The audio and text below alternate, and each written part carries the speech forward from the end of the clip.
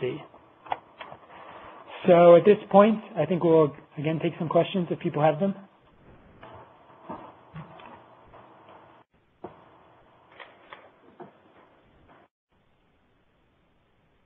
Uh, Erin, are you there? Uh, yes, if you would like to ask a question, please press star then one at this time. One moment.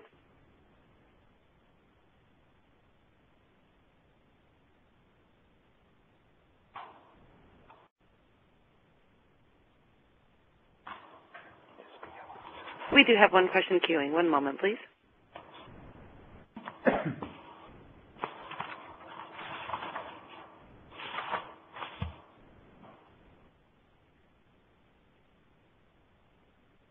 Our first question comes from Max Metalman. Your line is open. Hi, my question is multiple wall types in BEopt. Is that anywhere in the future uh, for selecting multiple wall types in a in a home? Uh, yes, it's definitely in the future as opposed to the present. Um, now, it is a, a request that, that we get fairly frequently, and um, and it's it's in our uh, to-do list uh, track system. Uh, not quite sure when we will get to it, but um, but we know that it had that there's some priority based on that uh, from the questions, the requests that we get. Okay, thanks. Thank you. I think at the moment your best uh, way to handle that is the to use the uh, category called other wall, um, where you can specify sort of a generic wall layer by layer, and so you could uh, perhaps do a uh, area uh, U value calculation and, and, put in that wall type in this way. Um, okay. okay. So, uh, are there other questions?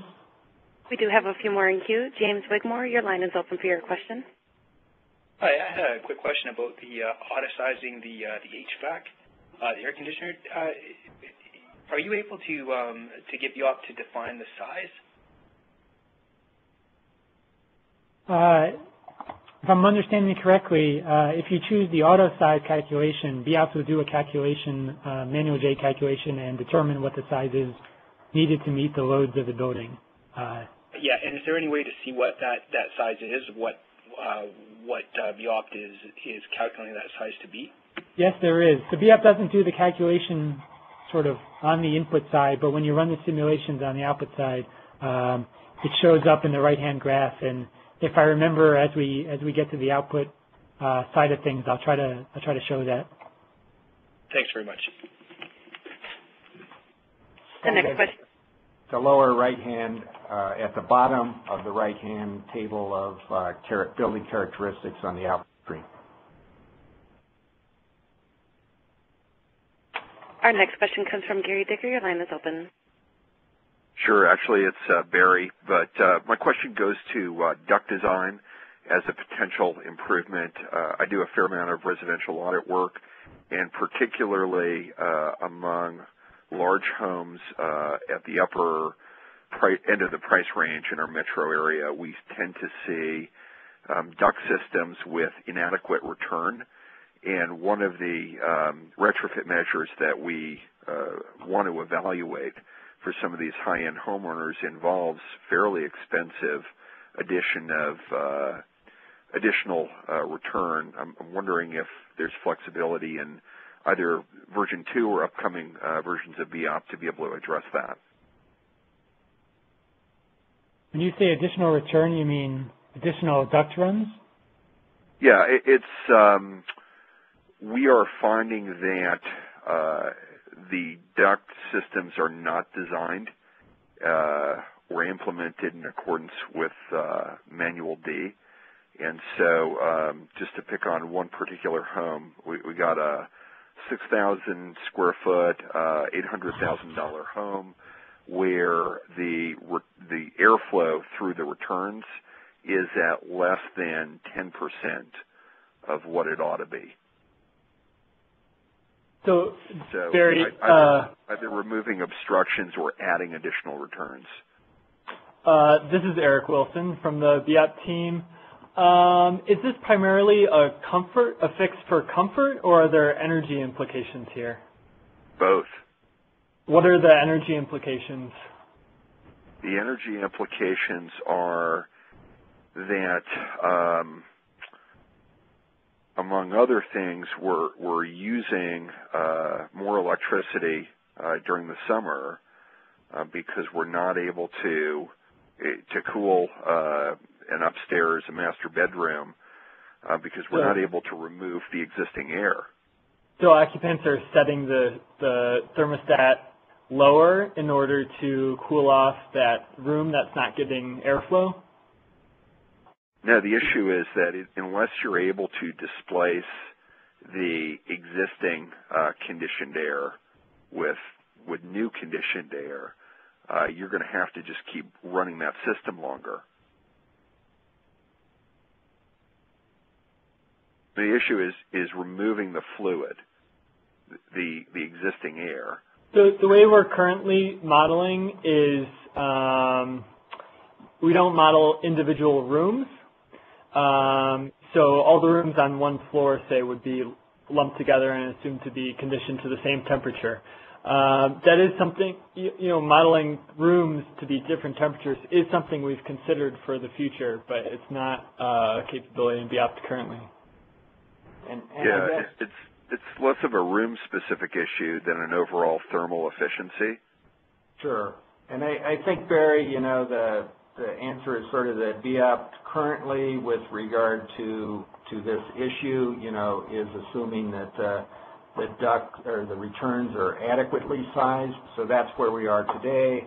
Uh, we'll take note of this. Thank you for, for pointing this out, you know, as, as not just a theoretical thing, but something that you actually see in the field. Uh, and so we'll put a ticket into our track system uh, for potential um, enhancement of the capabilities of BEopt to to uh, to address and analyze that sort of thing. Great. And if your your people need further input around that, happy to provide. Very good. Thank you. Great, you. thanks. The next question comes from Phil. Your line is open. Hello. Hi, Phil Kerrigan here. Uh, mine's a follow-up question on the uh, auto sizing. And uh, Scott, I'm not sure if you were going to address this in the output section, but I'm just going to ask you right now. I know I see that in the output it will list what it what it actually calculates. And so, for example, this example plan that I have shows that uh, BEopt is calculating a 1.44 ton cooling system when I select auto size.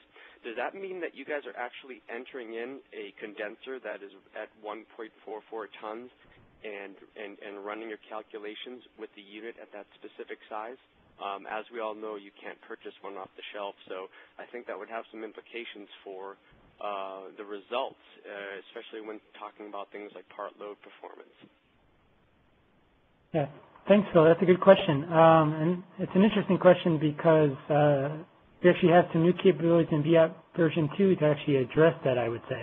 Um, so at the moment, BEopt version 2 is doing the same thing as version 1, which is to say that our simulation is using the sort of continuous auto-sized value.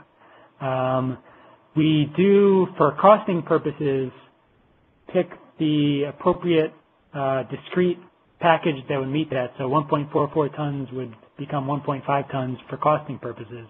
Uh, but the simulation at the moment is still running with the 1.44 tons. Now with version 2, we do our, our sizing uh, a bit different so that we could choose to uh, run the simulations with discrete options if we wanted to.